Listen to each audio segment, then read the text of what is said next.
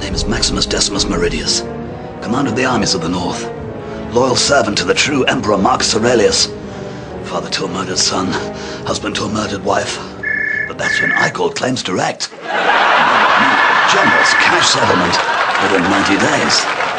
So if a member of your family has suffered a fall at work, tripped on a loose paving stone, or been brutally slaughtered by the Emperor's soldiers, call Claims Direct today on MCX XXVI. It's MCX XXVI. Don't win your case, they'll receive no fee.